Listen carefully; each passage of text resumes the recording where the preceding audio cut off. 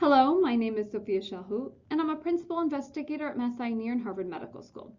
Along with David Miller, a medical oncologist and dermatologist at Massachusetts General Hospital, we're excited today to present StoryboardR, an R package and Shiny application designed to visualize real-world data from clinical patient registries. We hope to present this package that we created and discuss its applications. So here's an overview of our talk today. I'll begin with describing the unmet need that inspired us to create StoryboardR. Next, I'll provide a general schema overview of the app. And then I'll hand off the presentation to Dr. Miller, who'll discuss how to install StoryboardR from GitHub.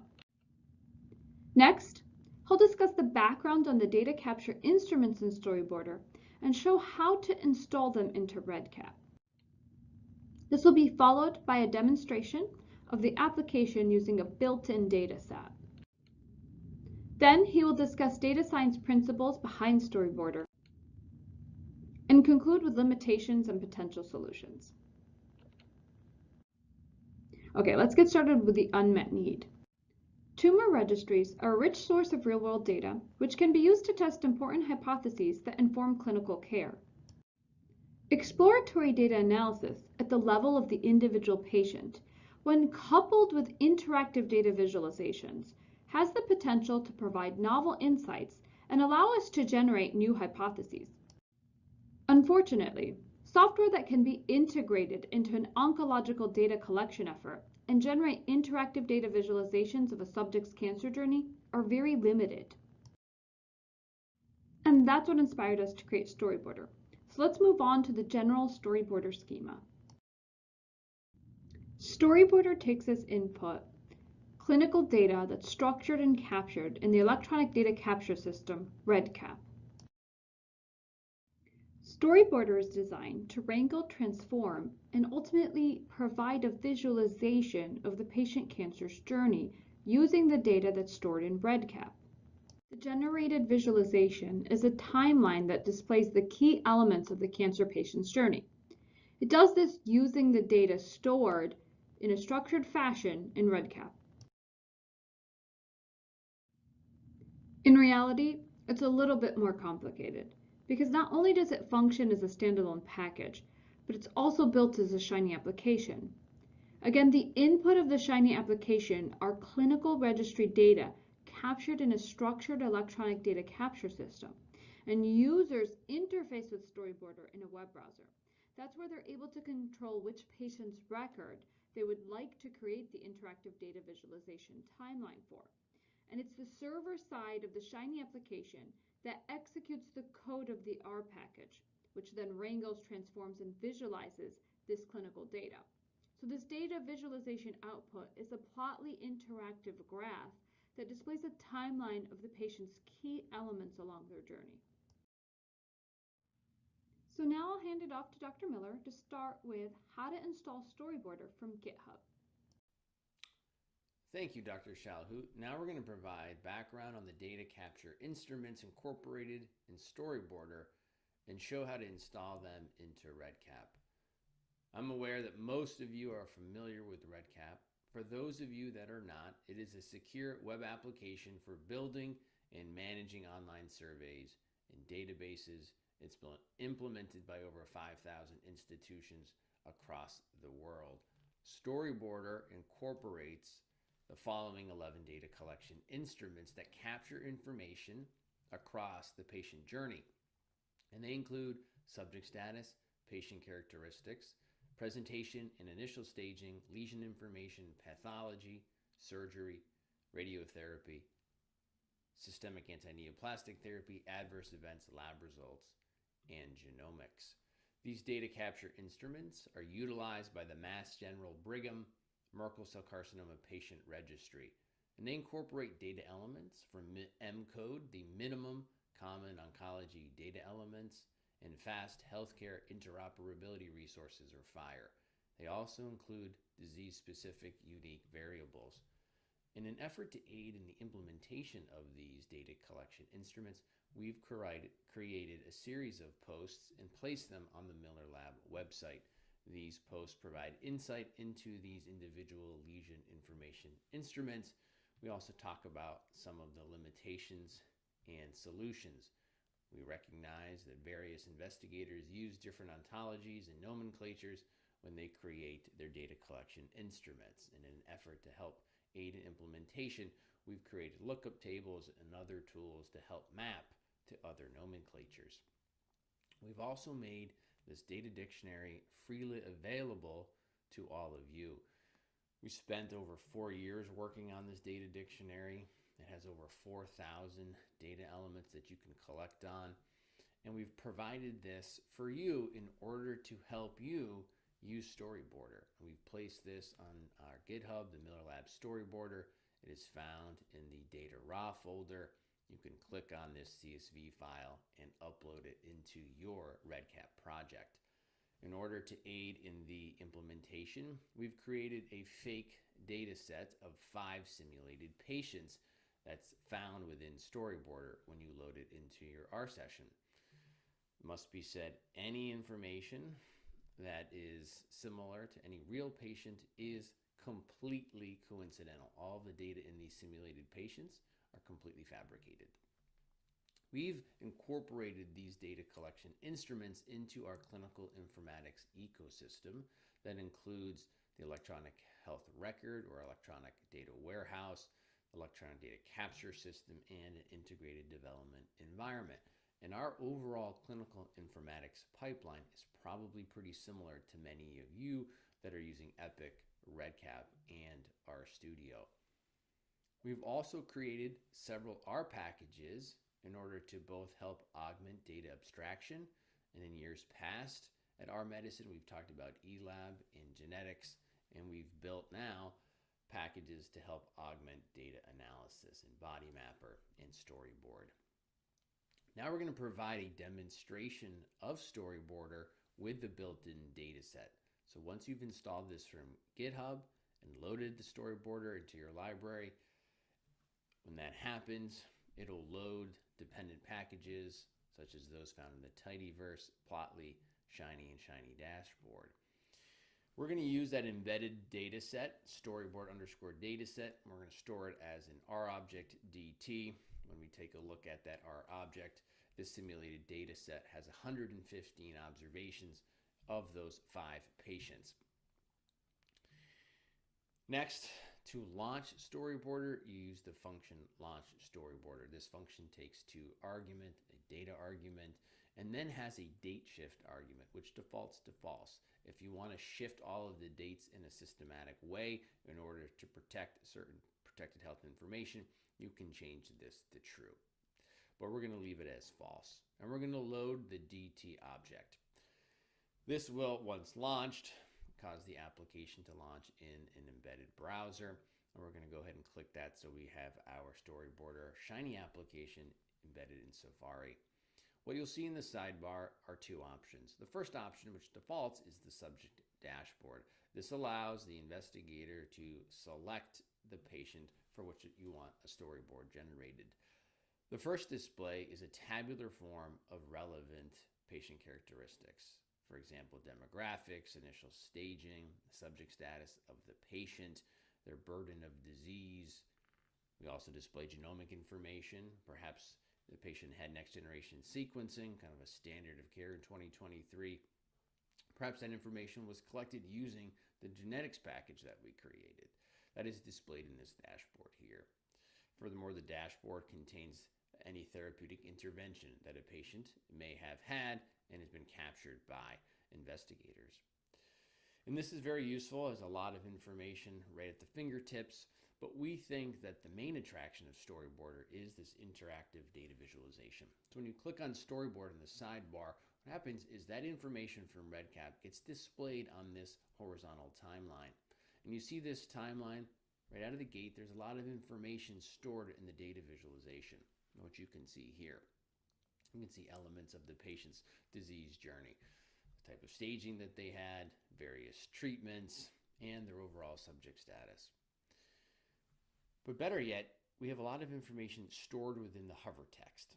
So let's take a look at simulated patient one. This simulated patient's journey began with a left ankle skin primary tumor. And for this simulated patient set, uh, these patients all have Merkel cell carcinoma. So that Merkel cell cancer in the simulated patient presented on their left ankle. And that was histologically confirmed in this uh, hypothetical date of May 9th, 2019. This patient underwent next generation sequencing using the MGH snapshot next generation sequencing panel. Here in the hover text, it is displayed the alterations that were detected uh, uh, via that snapshot analysis. Due to standard of care procedures, this simulated patient went on to have surgery. And embedded in the hover text is details of that surgery. So you can see what type of surgery. Did that patient have an excision, a lymph node dissection? You can see the margins the surgeon used and the outcome. This patient had an R0 resection, which means that the tumor, thankfully, was completely removed.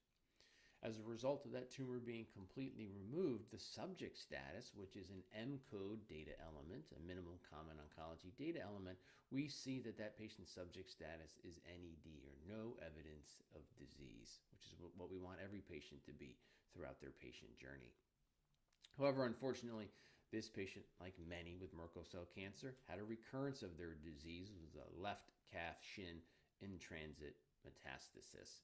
Therefore, the patient underwent definitive radiotherapy and completed definitive radiotherapy. And we see the details right here in our storyboard.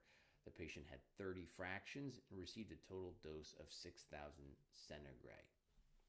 This patient uh, was then rendered NED until, unfortunately, recurred once again with a left groin lymph node metastasis. Due to that, simulated patient 1 received one of the FDA approved options for Merkel cell cancer, an anti PD-L1 monoclonal antibody, avelumab. What StoryboardR does is displays each and every dose that a patient receives if that information was collected in REDCap. Now, this patient fortunately went on to have a complete response, so their subject status was no evidence of disease on March 12, 2019. This simulated patient then went on to receive maintenance dosing. What StoryboardR does is it allows you to create that dashboard and storyboard for every single patient in your registry. And here are the and here are three storyboards that are created. Now, we use this storyboard, a storyboarder data visualizations to help us generate new hypotheses. By looking at patient level data, gives you insight, gives you ideas. It also has other potential applications. We've heard people talk about using this, for example, at a tumor board where a case is being presented to other clinicians that might not know the patient's overall journey. And this is a way to get a quick data visualization, a sense of that patient journey. We hope that all of you who are interested in this type of research can use StoryboardR and customize it to meet your research needs. Therefore, I want to discuss a few of the data science and software engineering principles of StoryboardR to allow you to customize it for your needs. These are the functions that StoryboardR incorporates, and we're going to talk about these. We think about them in three different levels of functional programming.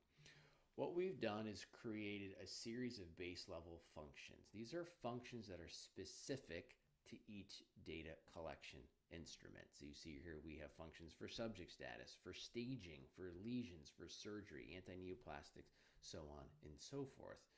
And what all of these base level functions do is they parse the data and wrangle it to create the same data frame, a data frame with five vectors, record ID, description, value, date, and hover. Now let's look under the hood a little bit more. Now let's use our storyboarder dataset to do that.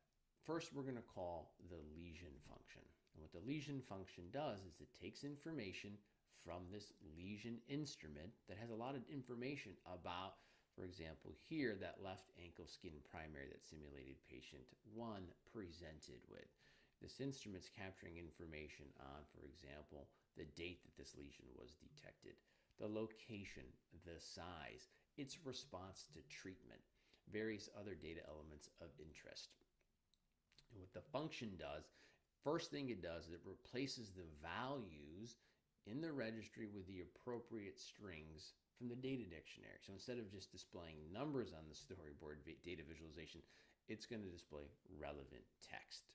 The next thing it does is it selects the variables from those instruments that you want displayed on the data visualization. Some of these instruments have hundreds of variables. It's not useful to have all of those displayed on the data visualization, so we've selected the relevant data instruments. Uh, you are able to uh, select whatever variable you want, again, to, to enhance that customizability. And finally, what story this Lesion instrument uh, function does is it returns a data frame of five variables, record ID, description, value, date, and hover. And let's take a look at those. So here we see uh, our, our um, embedded data set after we call lesion. Record ID is pretty self-explanatory. Description is the instrument from which the data comes from. Value is the information, the strings that are actually on the timeline. And then we have the dates and the hover text that we saw.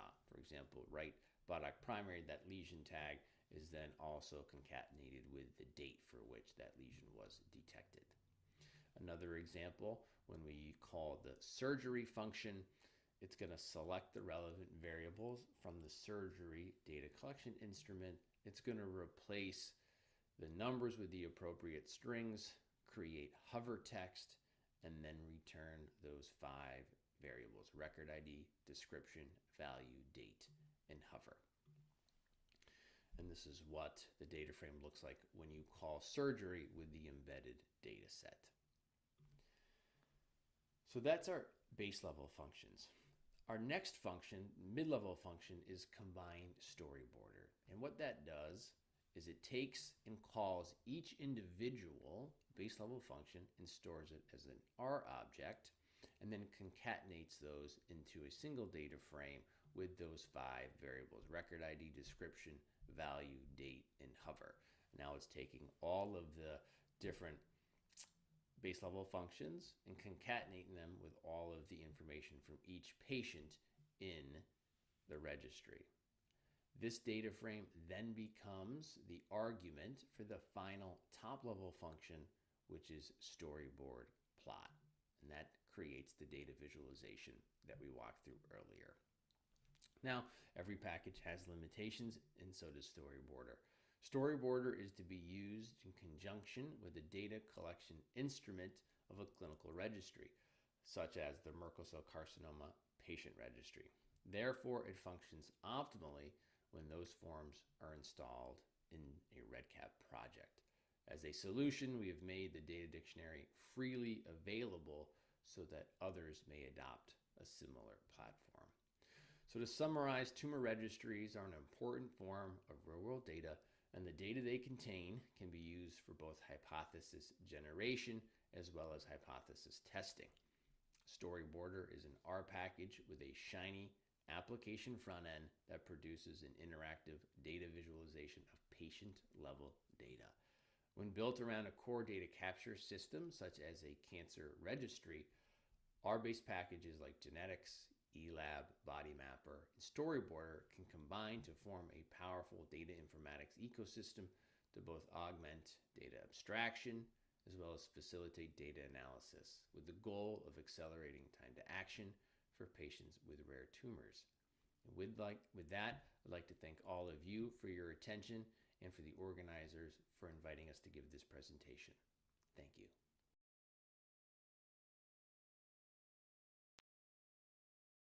Wow, that was really fantastic. I can see how that would be very useful for um, visualizing patient histories. And um, we have a couple of questions in the Q&A that maybe you wouldn't mind just answering live for everyone to hear. Um, the first says, I, I see a lot of info is encoded in the hover text. Have you guys looked into accessibility software, for example, for blind users? I think hover text can cause issues for those types of users. Are you able to un unmute and answer that, David? Does he have access?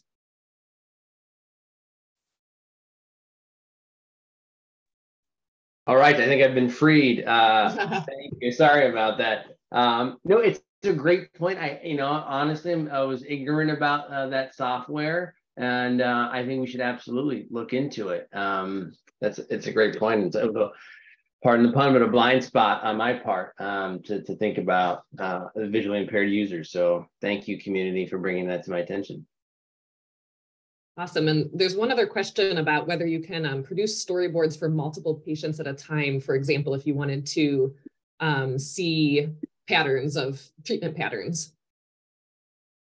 And on uh, on the same visual, like in the same data visualization, I yes, haven't, same. yeah, I haven't optimized that yet, but we can um, we can definitely work on that. I think that would be that would be a nice way to um, you know to add some more texture to the to a registry, for example. Um, it's another great suggestion. Okay, great. Well, thanks again, and we'll move on to the next talk. Thanks, everyone.